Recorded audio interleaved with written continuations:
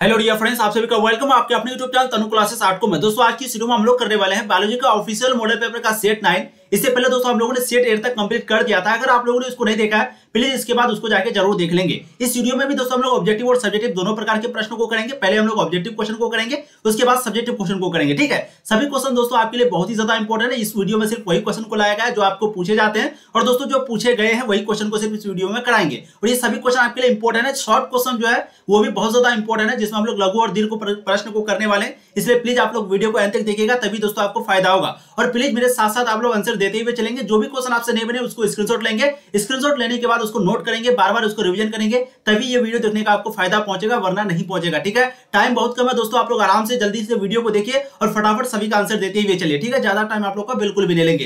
पहला क्वेश्चन आपकी स्क्रीन पर खुराना को नोबेल पुरस्कार क्यों मिला था? आखिर खुराना को जो है नोबेल पुरस्कार क्यों मिला था? डीएनए की खोज की वजह से या फिर आरएनए की खोज की वजह से या फिर जीन के रासायनिक संश्लेषण हेतु या फिर डीएनए पॉलीमरेज की वजह से? बहुत ही इंपॉर्टेंट क्वेश्चन है। इसका जो राइट आंसर होगा, बिल्कुल आपका हो जाएगा, वो है जीन के रासायनिक संश्लेषण हेतु, यानी कि केमिकल सिंथेसिस ऑफ़ जीन की वजह से। तो खुराना को जो नोबेल पुरस्कार मिला था, वो जीन के रासायनिक संश्लेषण के कारण, ठीक है? चलिए, अब देखते हैं क्वेश्चन क्वेश्चन नंबर टू आपकी स्क्रीन पर। ब्रेड बनाने में कौन सूक्ष्म जीव प्रयुक्त होता है? ब्रेड बनाने में कौन से सूक्ष्म जीव का प्रयुक्त होता है? इसका जो राइट आंसर होगा, बिल्कुल आपका हो जाएगा, वो है एस सीरीवाइसी क्या हो जाएगा? S cerevisiae which of the following microbe is use in making bread तो दोस्तों, इसका जो राइट आंसर है, वो हो जाएगा एस सीरीबाइसी इसी का प्रयोग जो है ब्रेड बनाने के लिए किया जाता है। ठीक है अब देखेंगे next question question number three आपके स्क्रीन पर सदर्न ब्लोटिंग जिसको बोलते हैं साउथर्न इंग्लिश में क्या बोलते हैं? साउथर्न या फिर आप पढ़ सकते हैं सदर्न ठीक है तो सदर्न ब्लॉटिंग द्वारा की जाती है।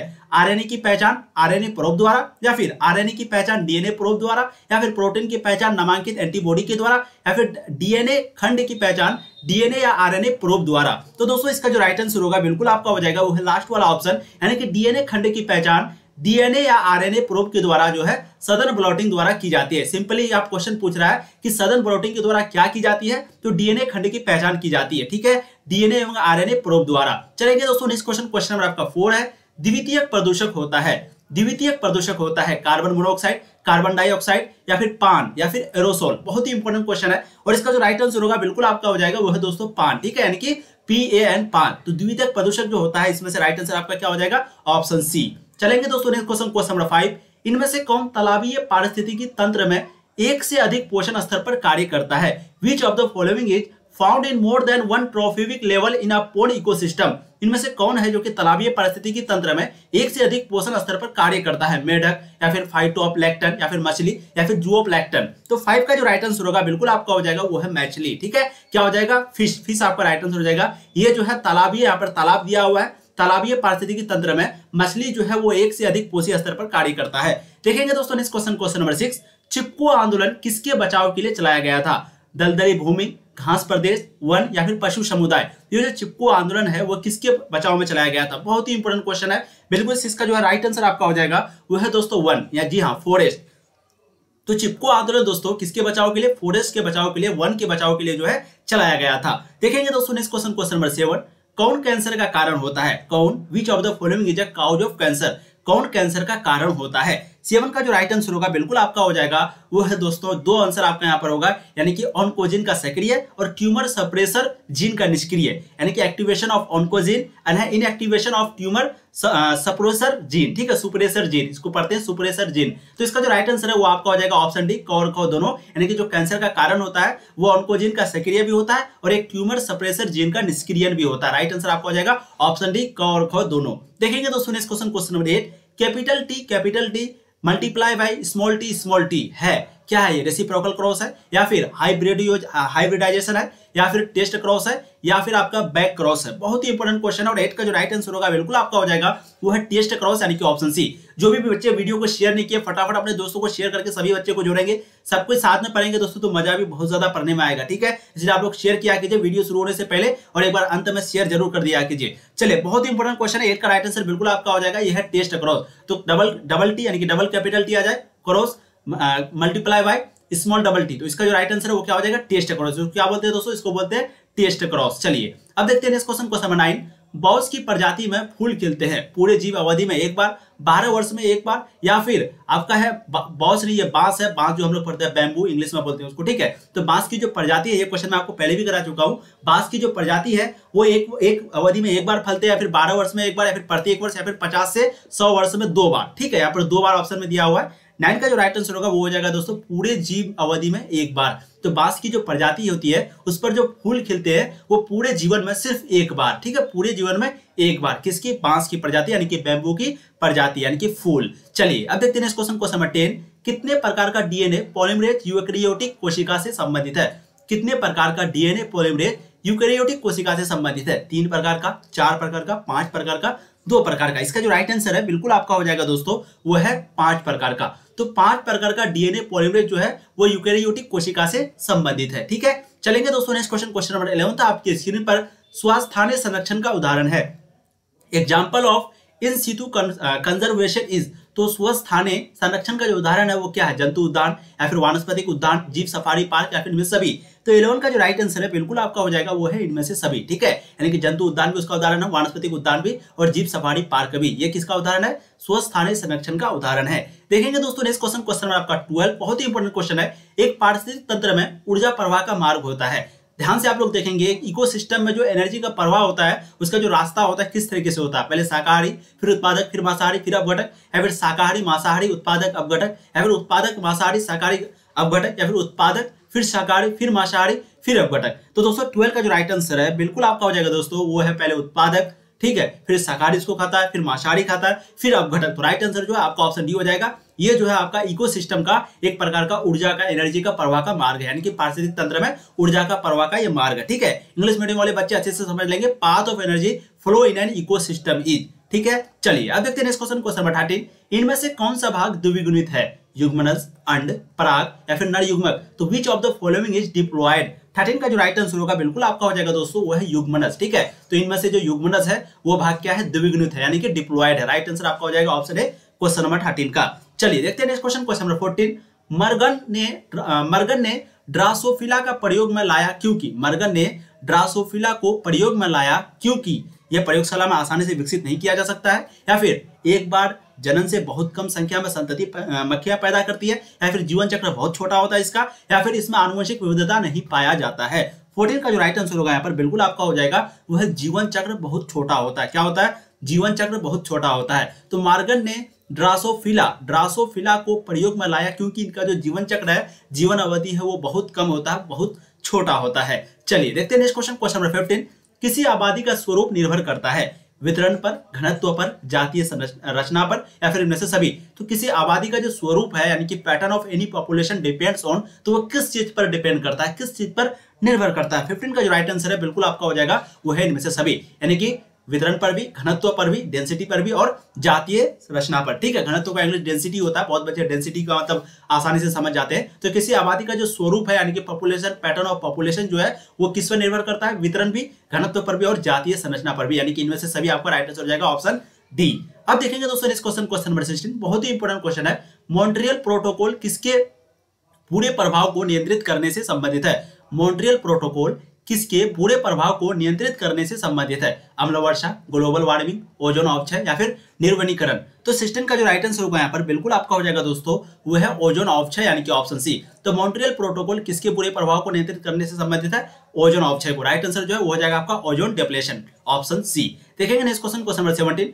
मानव में डैश निषेचन होता है। बाह्य निषेचन, आंतरिक दोनों या से कोई नहीं। तो मानव में जो है यानी कि in human dash fertilisation occurred seventeen का जो राइट आंसर होगा, बिल्कुल आपका हो जाएगा दोस्तों, बिल्कुल इसका राइट आंसर आपका हो जाएगा ग्लोबल वार्मिंग यानी कि ऑप्शन भी क्या हो जाएगा? सॉरी आंतरिक सॉरी मानव में जो निषेचन होता है, वो आंतरिक होता है। बाह्य निषेचन में कुछ प्रॉब्लम भी होती है। मैंने आपको शॉर्ट क्वेश्चन में करवाया था और पूछा भी जाता है कि बाह्य निषेचन का नुकसान को बताएँ। ठीक है क्वेश्चन बहुत बार पूछा गया है, इसलिए आप लोग को क्वेश्चन देख लेना है। तो मानव में जो निषेचन होता है, वो कैसा कौन सा होता है? इंटरनल होता है, यानी कि आंतरिक होता है। ठीक है? चलिए, अब देखते हैं क्वेश्चन क्वेश्चन नंबर एटीन एक परिपक्व पूटक से अंडाणु, यानी कि ओवम ठीक है, जिसको हम लोग क्या बोलते हैं? अंडाणु, यानी कि ओवम ओवेरी के मोचित होने की प्रक्रिया को क्या कहते हैं? अंडोत्सर्ग अंडजनन, दुग्ध श्रवण या फिर निषेचन। ठीक है, बहुत ही इंपोर्टेंट क्वेश्चन है। और इसका जो राइट आंसर होगा, बिल्कुल आपका हो जाएगा, वो है अंडोत्सर्ग। क्या हो जाएगा? अंडोत्सर्ग, यानी कि ओवोल्यूशन ओवुलेशन ओवुलेशन ठीक है तो एक परिपक्व पुटक से अंडाणु के मोचित होने की प्रक्रिया को कहते हैं अंडोत्सन राइट आंसर आपका ऑप्शन हो जाएगा, क्वेश्चन नंबर एटीन का। चलिए, देखते हैं क्वेश्चन क्वेश्चन नंबर नाइनटीन भ्रूण और गर्भाशय के बीच संवहनी संपर्क बनाने वाली संरचना को डैश कहते हैं। डिम्बवाहिनी नलिका गिरिवानाल अपरा या फिर से कोई तो 19 का जो राइट आंसर होगा, बिल्कुल आपका हो जाएगा दोस्तों, वो है अपरा। तो भ्रूण और गर्भाशय के बीच संवहनी संपर्क बनाने वाली रचना को कहते हैं अपरा। क्या कहते हैं? ऑप्शन सी 19 का राइट आंसर ऑप्शन सी हो जाएगा। देखिए नेक्स्ट क्वेश्चन क्वेश्चन नंबर 22 निषेचन टेस्ट में संपन्न होता है गर्भाशय। डिम्बवाहिनी नालिका अंडाशय योनि तो निषेचन जो है, वो डैश में संपन्न संपन्न होता है। ट्वेंटी का जो पर राइट आंसर होगा, बिल्कुल आपका हो जाएगा, वो है डिम्बवाहिनी नलिका, यानी कि ऑप्शन बी क्या हो जाएगा? डिम्बवाहिनी नलिका। चलिए, देखते हैं next question question number twenty one Hugo Hugo de Vries क्या लिखा हुआ ह्यूगो डिवेरीज ने किस पौधा पर कार्य किया था? गुलाब, मटर, धान या फिर इवनिंग प्राइम रोज तो 21 का यहाँ पर राइट आंसर होगा, बिल्कुल आपका हो जाएगा, वो है इवनिंग प्राइम रोज यानी कि ऑप्शन डी ठीक है? तो ह्यूगो डेवीरोज ने किस पौधा पर कार्य किया था? इवनिंग प्राइम रोज पर। राइट आंसर आपका ऑप्शन डी हो जाएगा क्वेश्चन नंबर 21 का।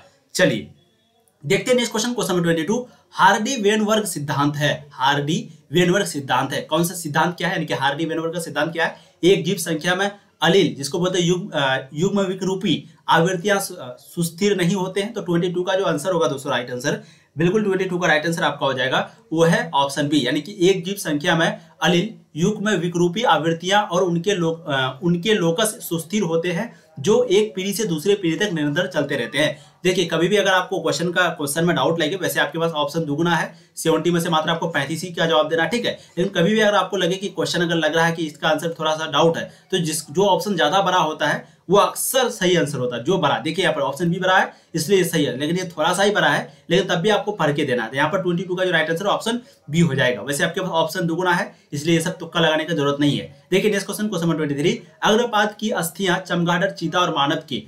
अग्रपात की जो अस्थियाँ है, वो चमगाडर चीता और मानव के क्या होते हैं? समझातीय होते हैं, अनुपूरी अनुरूपीय होते हैं, जिसको बोलते हैं तुल्य रूपीय, ठीक है? या फिर दोनों होते हैं, यानी कि समझातीय भी और अनुरूपीय भी, या फिर इनमें से कोई नहीं। तो ट्वेंटी थ्री का जो राइट आंसर होगा, बिल्कुल आपका हो जाएगा वह समझातीय तो अग्रपात की जो अस्थियाँ होती है चमगाडर चीता और मानव के, वो क्या होते हैं? समझातीय होते हैं, यानी कि होमोलोगस होते हैं। राइट आंसर आपका ऑप्शन ए हो जाएगा। चलिए, देखते हैं next question question number twenty four pneumonia किससे होता है?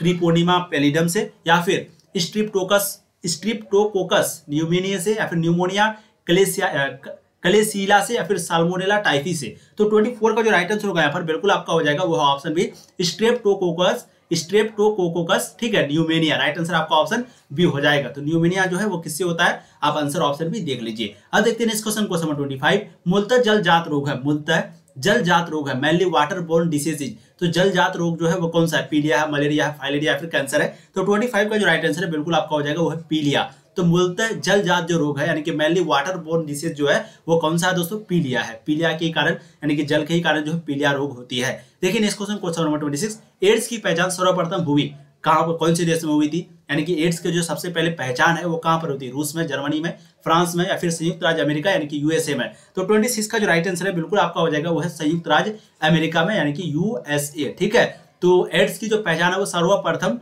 यूनाइटेड स्टेट ऑफ़ अमेरिका यानी कि संयुक्त राज्य अमेरिका में हुई थी यूएसए में हुई थी। किसकी पहचान? एड्स की पहचान। अब देखिए next question question number 27 salmonella संबंधित है टीबी से, टिटनेस से, पोलियो से टाइफाइड से। तो साल्मोनेला जो है, ये बीमारी किस चीज़ से संबंधित है? किससे एसोसिएटेड है? 27 को यहाँ पर राइट आंसर होगा, बिल्कुल आपका हो जाएगा, वो है टाइफाइड तो साल्मोनेला जो संबंधित है, वो किससे संबंधित है? किससे रिलेटेड है? किससे एसोसिएटेड है? टाइफाइड से। अब लास्ट क्वेश्चन देखिए क्वेश्चन नंबर ट्वेंटी एट रासायनिक दृष्टिकोण से एंटीबॉडी है। इसके बाद फिर हम लोग शॉर्ट क्वेश्चन को करेंगे इसी वीडियो में। लघु उत्तरीय, जो बच्चे पहली बार जुड़े हैं चैनल को सब्सक्राइब कर दीजिए, यहाँ पर आपको इसी तरीके से तैयारी कराई जाती है, ठीक है? तो यहाँ पर फटाफट आंसर देंगे पहले। रासायनिक दृष्टिकोण से एंटीबॉडी है, प्रोटीन, लिपिड या फिर लिपो प्रोटीन या फिर न्यूक्लियो प्रोटीन 28 का जो राइट आंसर होगा, बिल्कुल आपका हो जाएगा, वह प्रोटीन। क्या हो जाएगा? ऑप्शन ए, प्रोटीन, ठीक है? चलिए, फटाफट आप लोग कमेंट करेंगे कि आप लोगों का टोटल कितना सही हुआ। फटाफट आप लोग कमेंट कीजिए कि आप लोगों का टोटल कितना सही हुआ, क्योंकि बहुत ज़रूरी है, और जो भी क्वेश्चन आपसे नहीं बना प्लीज़ उसको नोट कर लीजिए। ये बार बार मैं बोलता हूँ, मैं बार बार बोलूँगा भी नहीं अब, ठीक है? क्योंकि दोस्तों टाइम बहुत कम है और बार बार रिवीजन आपको नहीं करवाएँगे या फिर बार बार आपको ये क्वेश्चन देखने को नहीं मिलेगा, इसलिए रिवीजन कर लीजिए, जो भी नहीं बने, ठीक है? अब दोस्तों हम लोग करने वाले लघु उत्तरीय प्रश्न, बहुत ही ज़्यादा इंपॉर्टेंट है, आप लोग को ध्यान से देखना है। फिर से जो क्वेश्चन नहीं बने प्लीज़ इसको नोट कर लेना है सभी क्वेश्चन आपके लिए बहुत ही ज़्यादा इंपॉर्टेंट है। जैसे कि पहला क्वेश्चन आपका कि अवशेषी अंक क्या है?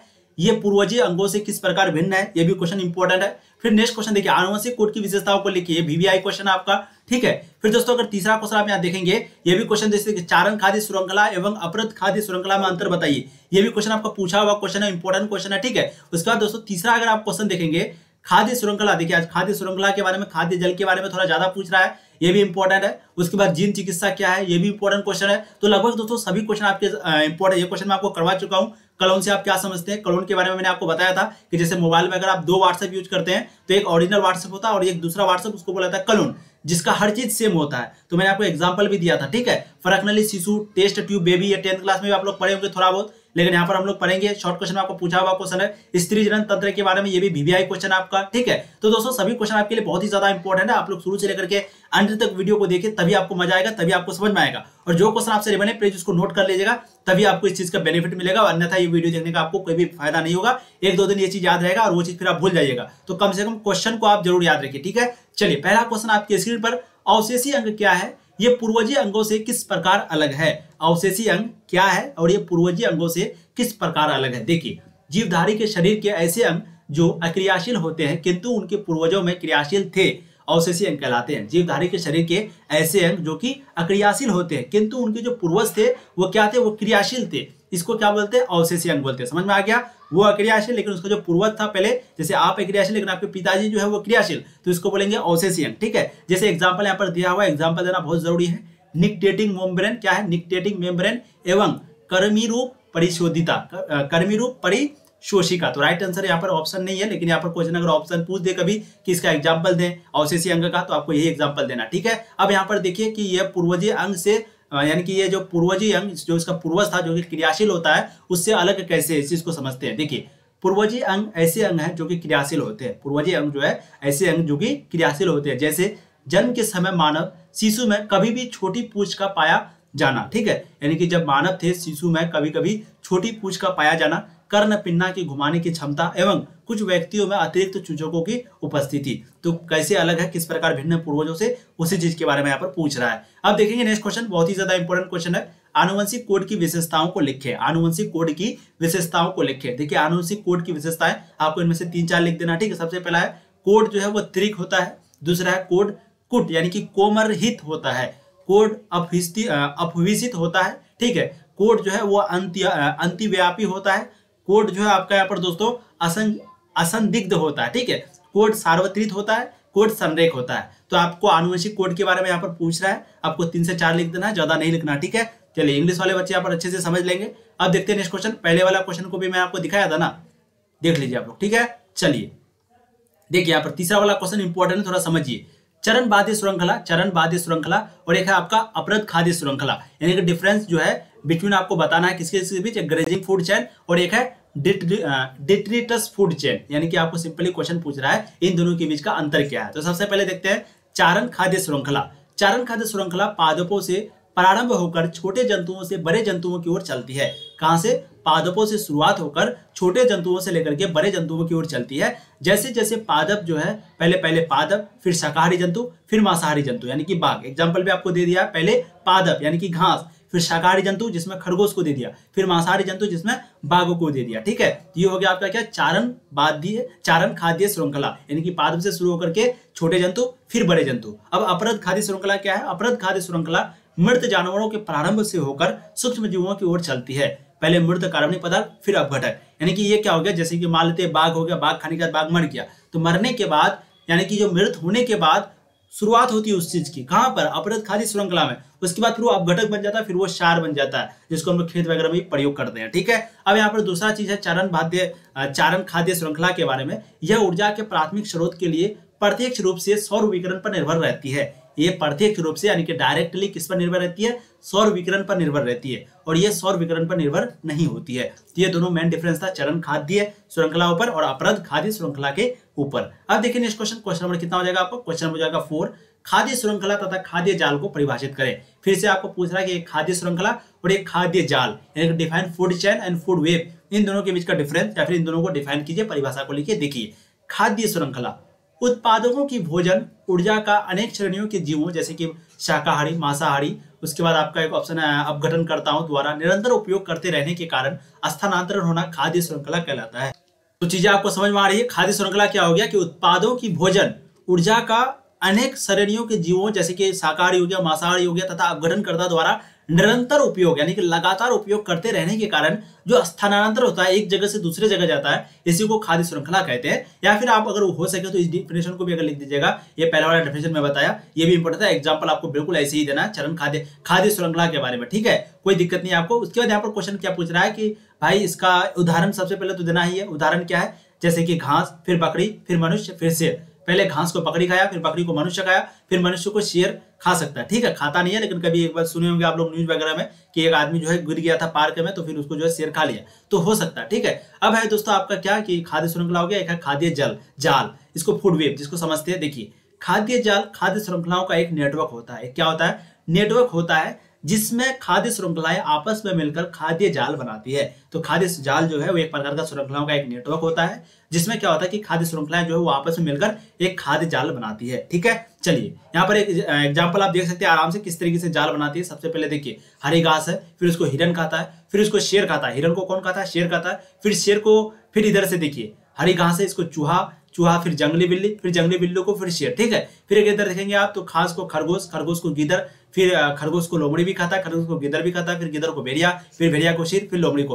तो अगर आप देखेंगे तो कई तरीके से जाता है, एक रास्ता, दो रास्ता, तीन रास्ता, चार रास्ता, लेकिन अंत में गया किसके पास? शेर के पास। फिर ये शेर जब मर जाता है तो फिर जो है वापस किसी तरीके से पीलू वगैरह होता है, जो कीट कीट वगैरह होता है, उसको खाता है। फिर उसको खाने से फिर अपघटन हो जाती है, फिर वहाँ उर्वरक हो जाती है, फिर जंगल हो जाता है, फिर जंगल पैदा हो फिर हरी घास हो जाता है।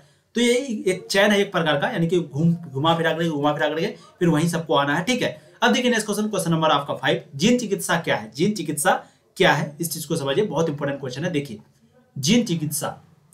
किसी जीव के आनुवंशिक दोष के उपचार हेतु, किसी जीव के आनुवंशिक दोष के उपचार हेतु एक या अधिक सामान्य जीन को कायिक कोशिका में प्रवेश कराना। किसमें? कायिक कोशिका में प्रवेश कराना जीन चिकित्सा कहलाता है। ठीक है? किसी जीव के आनुवंशिक दोष जो होता है, उसके उपचार के लिए, उसके इलाज के लिए एक या एक से अधिक सामान्य जीन को कायिक कोशिका में प्रवेश कराना, यानी कि एंट्री कराना, क्या बोलते हैं? उसको बोलते हैं जीन चिकित्सा। और इस विधि द्वारा जीन दोषों का सुधार किया जाता है। किस चीज़ का? जीन के साथ जो दोष होता है, जीन के साथ जो दोष होता है, यानी कि जो बीमारी वगैरह होती है, उसी चीज़ को सुधार किया जाता है। इसमें दोष का मतलब एक प्रकार का कमी भी बोल सकते हैं, बीमारी भी बोल सकते हैं, ठीक है? इसमें रोग के उपचार हेतु जीनों को व्यक्ति की कोशिकाओं या उत्तकों में प्रवेश कराया जाता है। जीन चिकित्सा में आनुवंशिक दोषावली, कोशिकाओं के उपचार हेतु सामान्य जीन को व्यक्ति या भ्रूण में स्थानांतरित किया जाता है। यह स्थानांतरित जीन निष्क्रिय जीन की क्षतिपूर्ति पर उनके कार्यों को संपन्न करती है। तो चीज़ आपको समझ में आ गई, जीन चिकित्सा क्या होता है, ठीक है? अब देखेंगे next question question number six clone से आप क्या समझते हैं?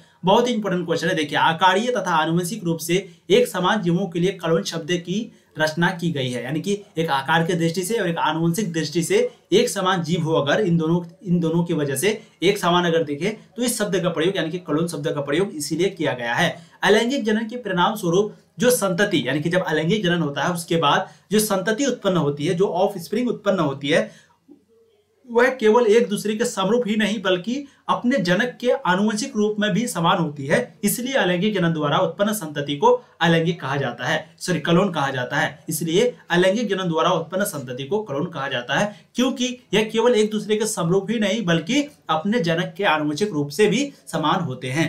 चीज़ें आपको समझ में आ रही है? अब देखिए next question question number seven परखनली शिशु, जिसको हम लोग बोलते हैं टेस्ट ट्यूब बेबी इसके बारे में बताइए। देखिए, प्रयोगशाला में पत्नी का या दाता, स्त्री के अंडे से पति अथवा दाता पुरुष से प्राप्त शुक्राणुओं को एकत्रित करके अनुरूप परिस्थितियों में युग्मनस बनाए जाते हैं। प्रयोगशाला में पर परखनली टेस्ट ट्यूब के बारे में बात हो रही है, यानी कि टेस्ट ट्यूब बेबी जो उसके बारे में बात हो रही है, किस तरीके से होती है। देखिए, प्रयोगशाला में पत्नी का या दाता, स्त्री के अंडे से पति अथवा दाता पुरुष से प्राप्त शुक्राणुओं को एकत्रित करके अनुरूप परिस्थितियों में युग्मनज बनाए जाते हैं। इस युग्मनज या प्रारंभिक भ्रूण, जो कि आठ ब्लास्टियर के फेलोपी नलिकाओं में स्थानांतरित किए जाते हैं और जो भ्रूण आठ ब्लोस्ट ब्लोस्टोमियर से अधिक का होता है, उसे परिवर्तन हेतु गर्भाशय में स्थानांतरित कर दिया जाता है। इनसे पैदा होने वाले बच्चा को टेस्ट ट्यूब बेबी या परखनली शिशु कहते हैं। ठीक है, चीज़ें आपको समझ आ रही है, किस तरीके से लैब वगैरह में बच्चों को बनाए जाते हैं, क्या नहीं बोला यहाँ पर, पत्नी का या फिर अंडे से और पति पुरुष का जो है प्राप्त शुक्राणुओं को एकत्रित करके अनुरूप परिस्थितियों में युग्मनज बनाए जाते हैं। फिर युग्मनज के बाद प्रारंभिक में आठ ब्लास्टेमियर की फेलोपियन नलिकाओं में स्थानांतरित किए जाते हैं। और जो भ्रूण जो होता है, पैदा इस पे पैदा होने वाले बच्चों को क्या बोला जाता है? टेस्ट ट्यूब बेबी जिसको हम लोग परखनली शिशु भी बोलते हैं, बोला जाता है।